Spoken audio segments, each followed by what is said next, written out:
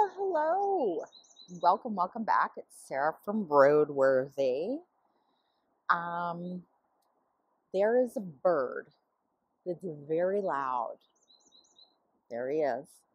I'm hoping he's not too annoying in this video, but spring, people, what can you do? Uh, let's see.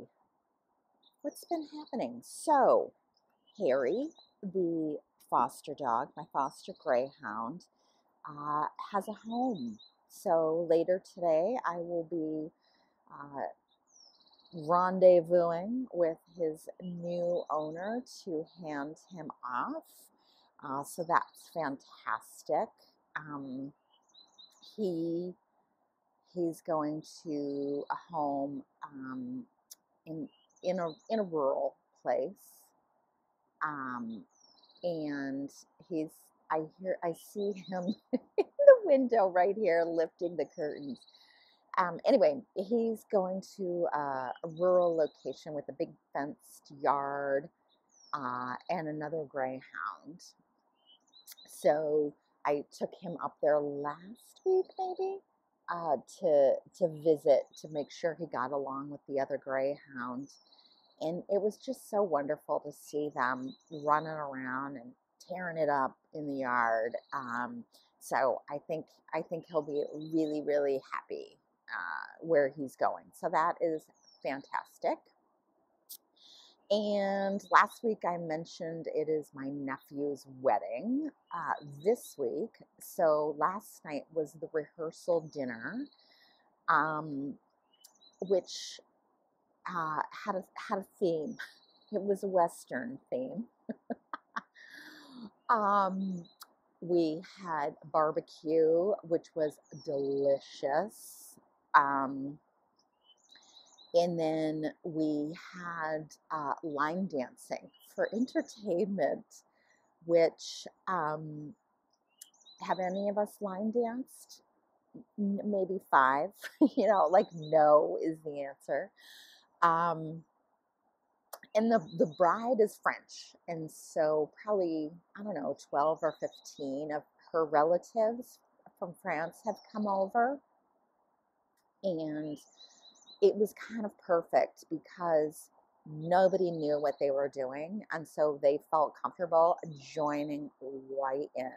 So it was great. I mean, of like the bride and groom's generation, I think nearly everybody participated and then I think of my generation, probably three quarters of us were on there on the floor, and it was hilarious. I mean, like total, you know, bumping into people, like turning and, you know, going in the wrong direction. I mean, it was like you, you, the comedy was high.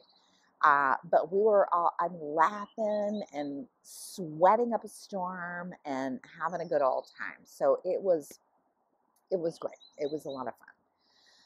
Um, and so, uh, wedding tonight. So, uh, yeah, I've been saying round two is tonight. Um, so I feel like there's just been a lot going on. And so I thought not a ton of reading has happened, but actually that's not really true. So, what have I been doing? Um, so I finished uh, the end the the world at the end of the cul-de-sac.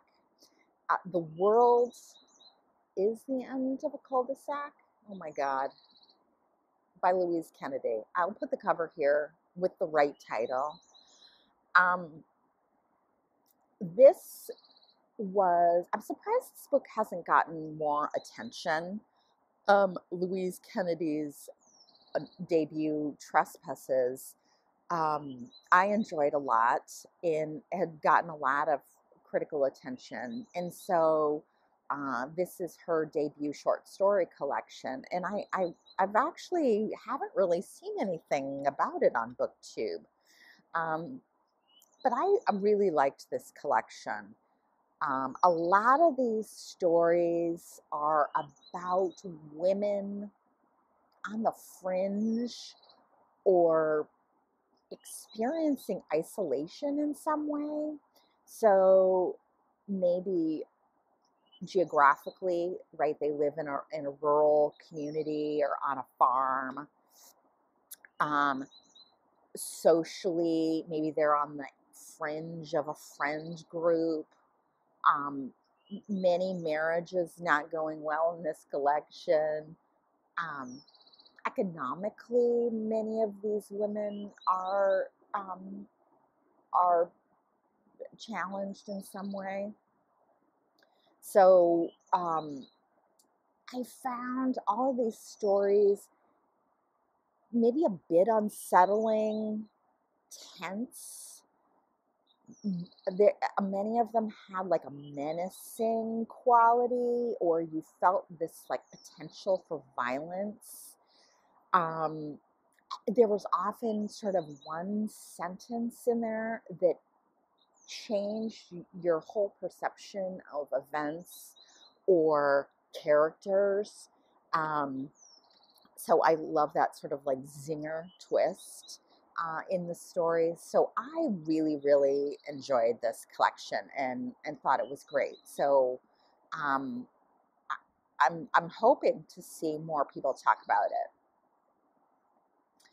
Um, then um, a nonfiction choice that I read was um, Cobalt Red How the Blood of the Congo Powers Our Lives by Siddharth Kara. Um, I didn't think this would fit for people April, but I think actually it kind of does and fits in as, uh, you know, potentially a, a group biography um, talking about the lives of what are called artisanal miners in the Congo. These are basically extremely poor people who are mining for cobalt using hands and shovels and um, you know maybe a pickaxe kind of a thing um, this book is really an, a thorough expose of the cobalt supply chain. And he really goes through to talk about how illegally mined and this artisanally mined cobalt is uh, frankly laundered and uh, entered into the um, legitimate supply chain of cobalt. And Kara definitely has an agenda in this book. Um, I mean, really, he is wanting to shame um, all the manufacturers of you know, lithium ion batteries, all the manufacturers um, that have products that use rechargeable batteries. So we're talking, you know, phones, laptops, tablets, um, e-readers, uh, and electronic vehicles, um, or excuse me, electric vehicles. Um, that all of them have these proclamations that they support, you know, labor laws and you know international standards and their cobalt is sourced ethically. And he is basically writing this book to say bullshit. And um and he it's a very detailed very thorough, exhaustive um, account of his journeys throughout the mining region of the Congo. Um, and it often feels repetitive because he'll go from one mining area to another to another to another and oftentimes the story is very much the same or has slight variation but i think he wants to make sure that no manufacturer come back can come back and say, well, we require acquire our cobalt from this mine, and you didn't document any issues there, so therefore, you know, we're good. Um, so he talks about child labor. Um, the vast majority of these mines have the whole family is employed. Um, in the mining region, there are virtually no schools, um, no health care. Um, so, uh, again, many of these families are forced to employ their children. Um, there, in some places, there is human trafficking happening because these mining areas don't necessarily have arable land or clean water. Um, so no one would choose to live there. Um, so, yes, human trafficking. Um, he goes through sort of the environmental impacts um, that environmental laws are, are being ignored, uh, public health issues experienced by many of these mining communities, that safety standards aren't really adhered to or followed in any way, um, and and corruption, um, the corruption of uh, the Congolese government, um, and a lot of the history too. So he talks about the history of of um, uh, resource extraction, corruption, and exploitation that uh, that has been occurring um, since you know King Leopold's time, right when he he when the Congo was his property. Um, right up through the present, and talking about how many of the practices that King Leopold set up are pretty much still in place. Um, a lot of the the structures in in um, systems that he put in place for extracting maximum profit um, exist there today. He talks a lot about how there's a lot of middlemen um, who are all, you know, taking a slice of the profit. But again, this is how Apple, Samsung, Tesla, Chrysler, Daimler, uh, Daimler Chrysler, you know, all of these, Google, you know, all of these manufacturers can say their cobalt is clean because you, it's very difficult to actually trace where cobalt has come from, where it was mined, and who mined it. Um, so, and he talks about too that that um, many many of the mines are Chinese owned, um, and you know some have Congolese partnerships.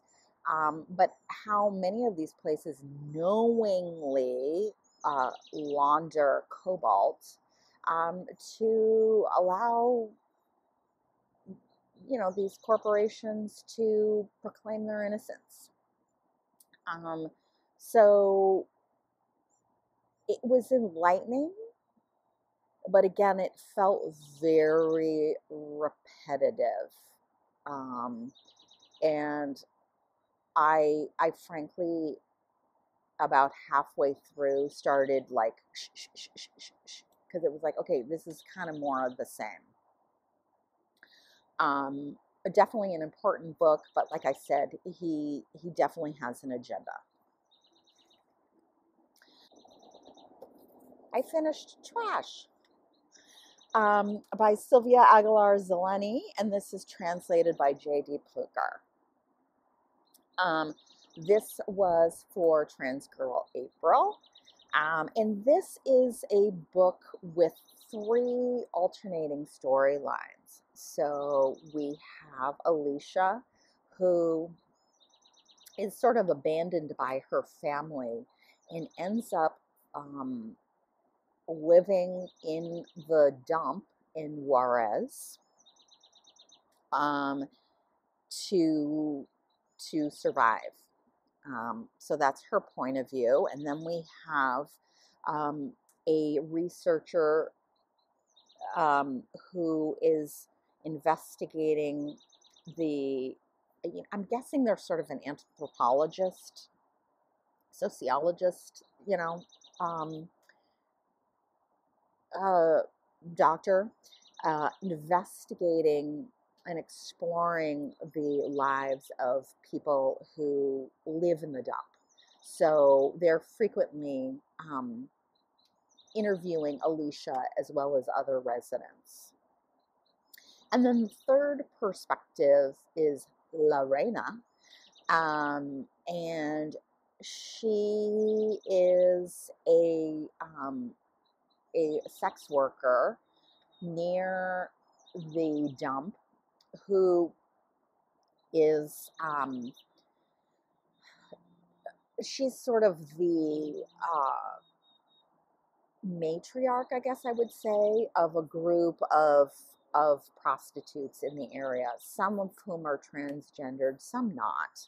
Um, and in her section, it's written in the second person and is written like she's giving you, the reader, an orientation to your new job as a sex worker. So it's like, you do this, you do that, you know, oh, honey, we need to work on your outfits, you know, this kind of thing. Um, and through that orientation, you sort of get snippets about her life um, and uh, a little bit about sort of her journey as a transgendered person. For me, her sections were definitely the most fun.